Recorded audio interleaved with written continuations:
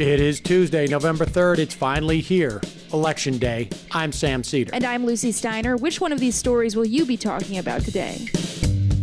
We say that every episode, but it's pretty clear what you'll be talking about today. We'll round up a few of the big stories today, like the federal court's decision on ballots in Texas. Meanwhile, Philadelphia's progressive district attorney warns that, quote, wannabe fascists should stay home instead of, quote, dressing up like G.I. Joe to intimidate voters at polls. But a New York Times investigation shows militias in other states might get a much warmer reception. And lastly, the Supreme Court could hear a case that directly challenges Roe v. Wade as early as Friday. You're listening to Majority.fm's AM Quickie, and these are the stories you need to know.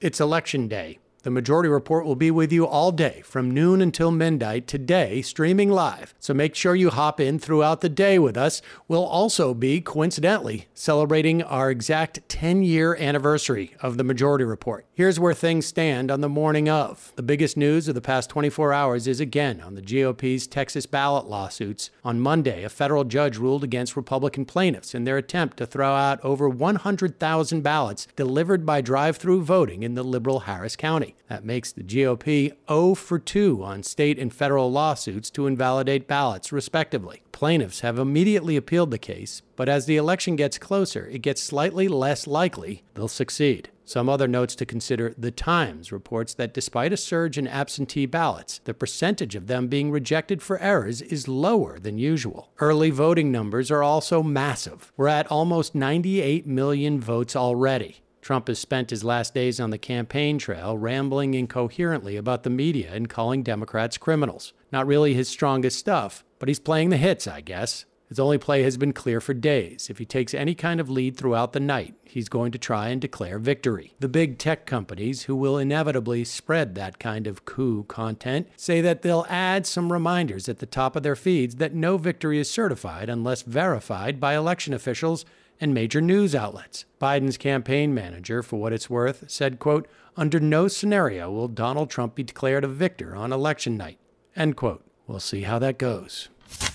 One big storyline outside of the political horse race to keep an eye on today is the presence of militias at polling stations. Philadelphia, progressive DA Larry Krasner has taken an extremely strong stance at keeping right-wing stormtroopers away. He told CNN on Friday, quote, "If you want to dress up like GI Joe and claim you're protecting the polls when we all know what you're really doing is intimidating voters, you're getting locked up." Want to be fascist? Stay home. If your idea of how to have a democratic election is to steal it, then I've got something for you. I've got a jail cell, and I've got criminal charges. End quote but it's pretty likely that many jurisdictions won't be like Krasner's. In fact, a new investigation by the New York Times shows that cops have been friendly and even openly supportive to armed right wing groups throughout the summer's protests. Big surprise, I know. Times reviewed hundreds of incidents from protests over the summer and found documented video evidence of police and various law enforcement authorities standing by while right wing groups fought with protesters, turning a blind eye to their presence and, in some cases, directly supporting them on the streets. Most of this was pretty obvious at the time, but it's still notable to see it all laid out for you in the New York Times. What this means is while some DAs or local governments might say they're going to crack down on militias, cops responsible for doing the actual cracking down might not be predisposed to do so. We'll see how the story plays out over the day and what these armed groups do after the results start to come in. We'll have much more on the election later today. For now, let's focus on another story that might get missed. The Supreme Court with Amy Coney Barrett, newly on the bench, could see a case with big implications for Roe v. Wade as early as Friday. Yes, this Friday.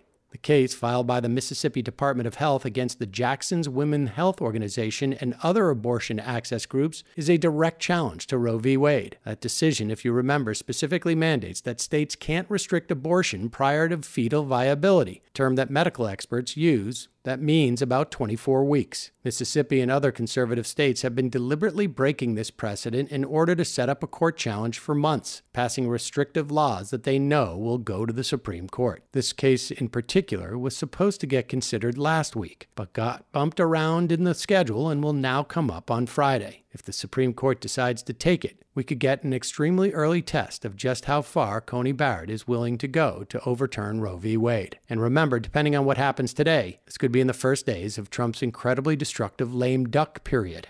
After the dust settles from the election, this will be one to watch. And now for some quicker quickies. Quicker quickie. In New York, Governor Andrew Cuomo is up to his old tricks, collaborating with Republicans to sabotage his own party. New York One journalist Errol Louis reported that Cuomo is believed to be behind a last minute effort and surge of money in order to try and stop Democrats from getting the votes they'd need to override his veto in the state legislature, just so he can make sure not too much progress happens in his firmly centrist state.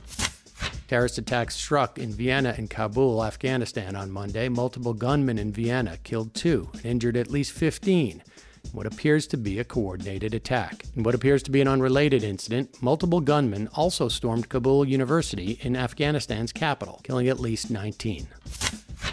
Retailers and businesses in many major cities are boarding up windows in preparation for possible protests or violence tomorrow, which is generally not a great sign for a functioning democracy. Fences are also going up around the entire White House complex, which makes sense considering how much the protests this summer scared the big boy in the Oval Office.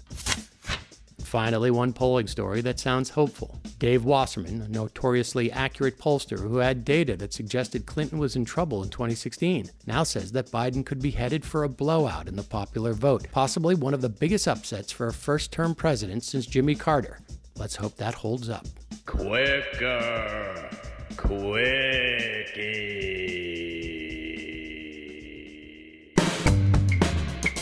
We'll see you today at noon when the election day and night live stream begins. And of course, we'll also be celebrating the 10 year anniversary of the Majority Report.